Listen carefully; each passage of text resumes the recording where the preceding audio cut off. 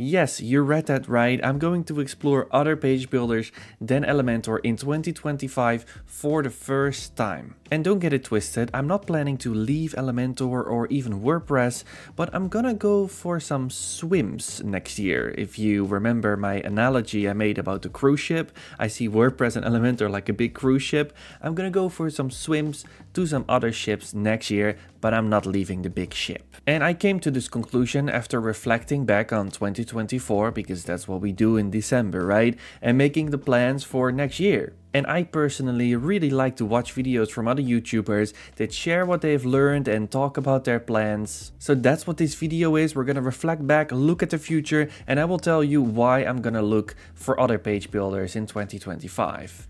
As a solopreneur, having systems is even more essential than what I thought. I mean, we all understand that big businesses, they need a lot of systems to run basically. And sometimes it feels like when you just have a small creative business, you can just do a little bit of work here and a little bit of work there and it will be fine because you don't have that many people who rely on you. But what's also the case is that you have a lot of hats on as a small creative business because you have to do marketing, sales, design, development, finance, you have to do everything. And this is why I always make a big point out of using systems. Here on the Living with Pixels website it says it. We're trying to build smart systems to work in because that's working in the smart way. But I don't always follow my own advice.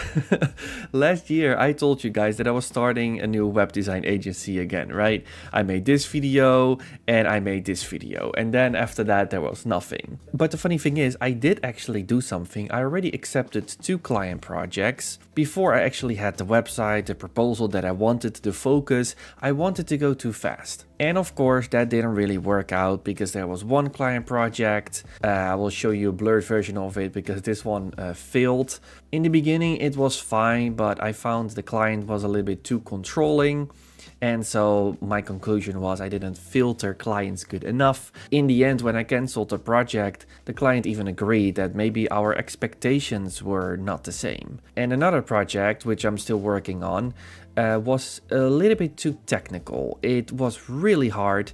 I will show you more about this project soon, but it was really technical with uh, CrocoBlock, Jet Engine, and I really uh, reached the limit of my skills basically. Uh, I also reached the limit of, of CrocoBlock, that was pretty cool.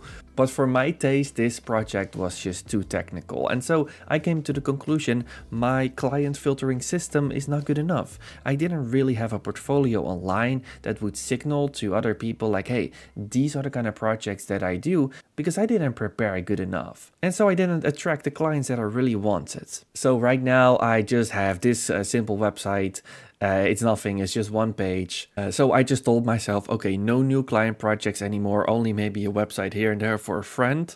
But I'm first going to make sure my portfolio looks great next year and then I can attract the right clients. My next point is about materialistic lifestyle.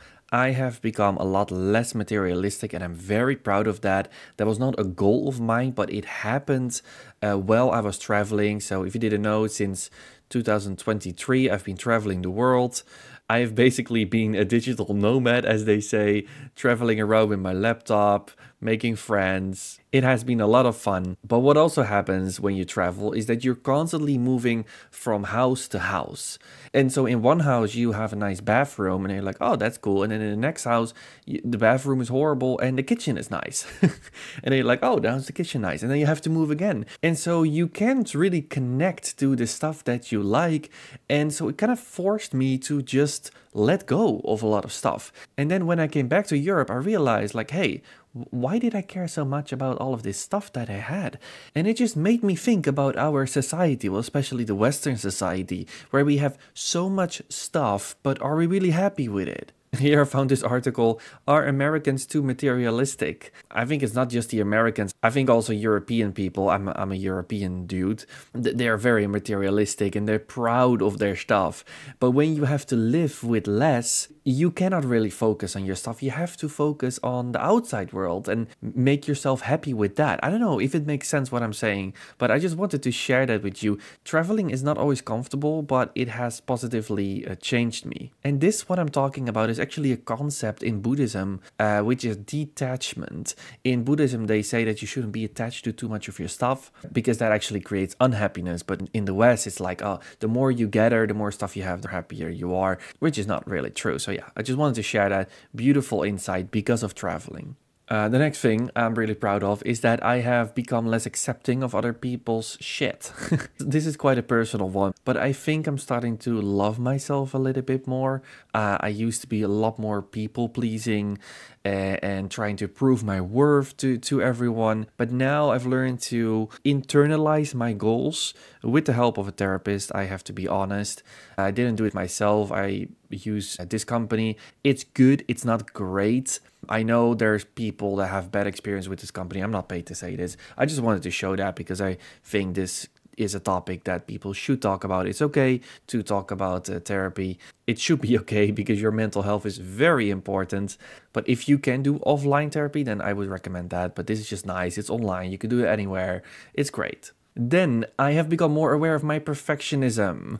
Uh, this is a beautiful graphic that I found online. This is a little bit how I feel all of the time. There's so many things going on, so many projects, you're procrastinating, you're overwhelmed. It's just a lot. But this year I have started to see where my perfectionism showed up. And that makes it able for me to tackle it better. So all of these things over here you see are different projects. And I'm very good at starting a project, but not so good at finishing it. Because at some point in the process, I tell myself like, okay, I don't have enough information to finish it or it's not good enough. And then I just put it aside. And this creates a situation where I just have so many projects which I haven't finished. You, ha you have no idea how many videos I've started but never finished. It is insane but before this year i always give myself credit because i i thought i am just strategic and therefore i have to judge really hard what video is worth it or not and while there is some truth to it, it can also become problematic when your life starts to feel like this. So yes, I do still like to focus more on quality than quantity with my videos. But I have found some ways to tackle my perfectionism for the next year, which I will share with you in the next section of this video, 2025. So here's the first thing I'm gonna do in 2025, beat my perfectionism. I know it's a process, it's not a black and white thing, but here is the plan. I have realized that I spend a lot of time writing the script because script writing for me, it's the perfect safe place to be perfectionistic because I can keep preparing until it's perfect, but that also keeps me stuck. So in the next year, I'm gonna try to make videos without a script. Not that all of my videos were scripted, but almost all of them. And then next year, I wanna flip that around 180 so that only a few videos are scripted, but most of them are not. Maybe just some bullet points that I write down, but the rest is just gonna be improvisation. This for me is quite scary because I have to let go of, of that control, but I am just not happy with the amount of videos I produced last year. Uh, it was only 16, so yeah, a little bit more than one per month. Uh, to be fair, I also did create 26 videos for my uh, Figma design course and I updated some videos for my Elementor Pro course. So it's probably closer to one video a week, but still, I am not happy. And I know that script writing is holding me back and there's so much to talk about in our industry. I want to talk more, I want to share more. So I'm to write less scripts. This maybe will mean that the quality of the videos will go a little bit down, that's what I'm scared of, but it will make it a lot easier for me to make videos and therefore there will be more videos, which is also a good thing, right? Because now it's just it's just not enough in my opinion. And I don't really have a specific goal in mind. I don't like to set very specific goals anymore because that also gives me anxiety and disappointment. Um, but I do want to change and improve, of course. And the second thing I'm going to do more in 2025 is make more videos I am passionate and excited about.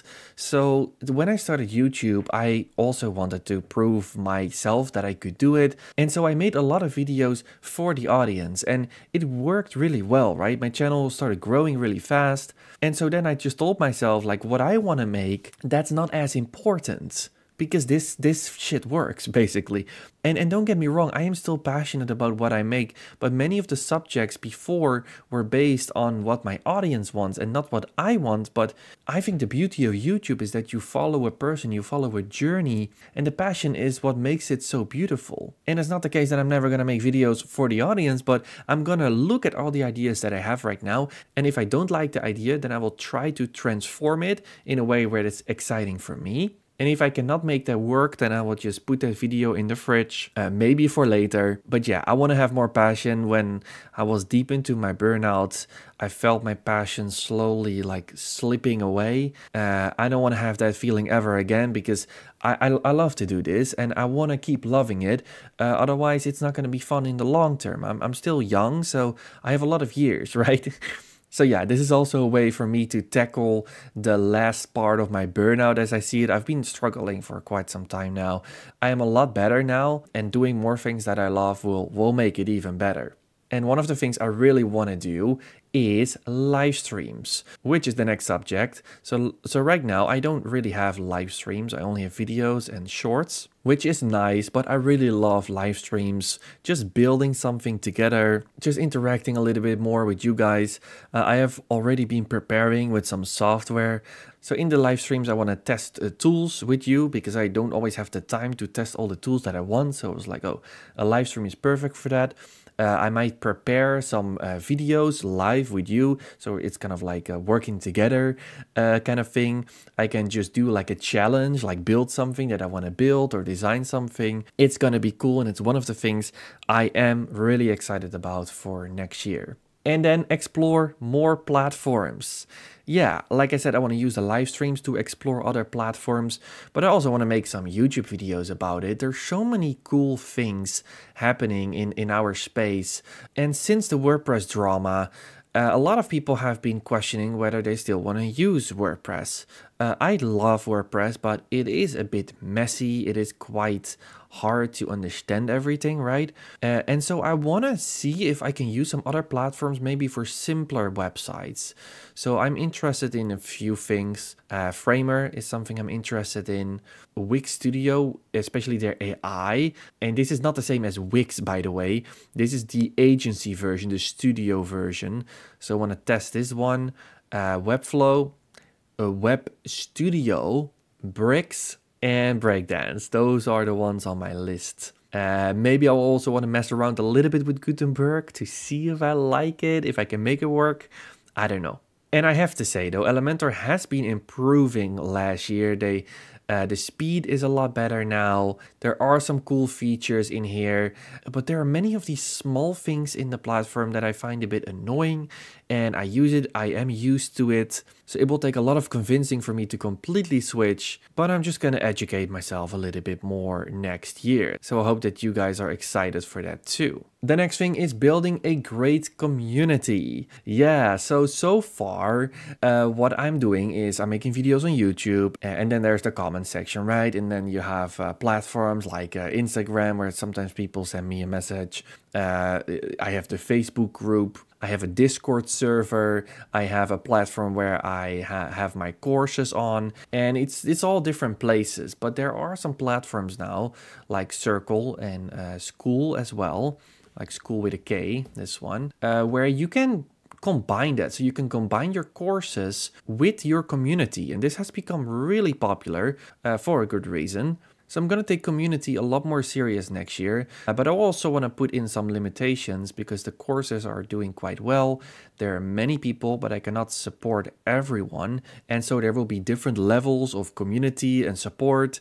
Uh, I will share more about this later, but I'm excited about this. And so this will roll out in 2025 as well. So those are all the things I want to do in 2025, but making goals can create anxiety as well because it only focuses on what you don't have, right? And I think we should also be thankful. So in this little part, I want to give myself some credits for what I did good in 2024 because I should be a little bit more proud of myself. I, I find that very hard to be proud of myself, so I'm just going to share some things I'm proud of that I did in 2024.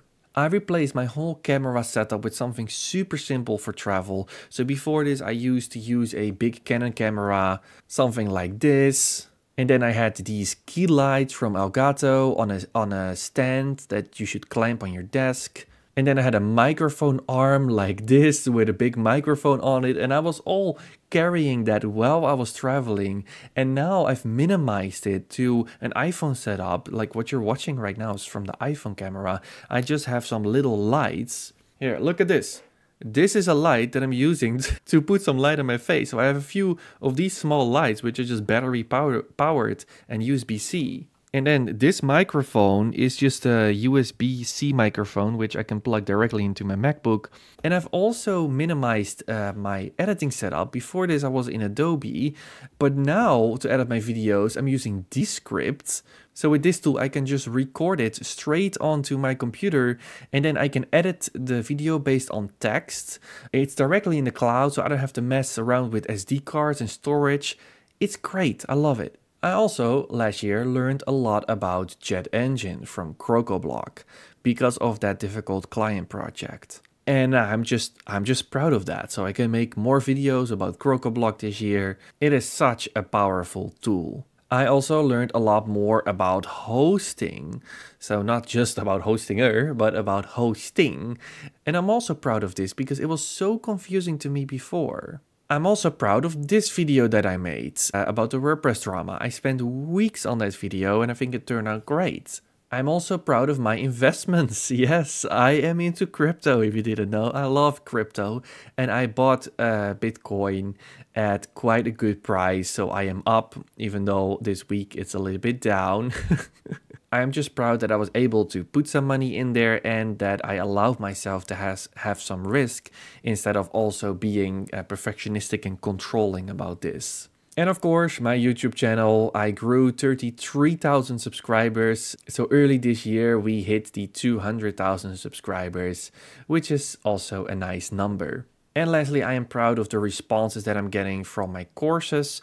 So right now I have the these two courses. The Figma design course is still in uh, development, but the responses have been so great and I put so much time in this. Uh, it's going slower than I want, but I'm just proud. These are two products that in my eyes are really good and really solid. If you have not made any plans for 2025 yet, then I highly recommend to do that, but also write down what you're proud of from 2024 because I can tell you from my experience that in the past like a few years ago I only focused on what I didn't have and I wasn't really proud of myself of what I already did in the past. So writing down what you're proud of uh, can make you feel good about yourself. And if you do that often enough then the anxiety about what you don't have will become less so yeah that's all I wanted to say. I thought this was interesting. I hope you liked it too. And let's make 2025 an amazing year.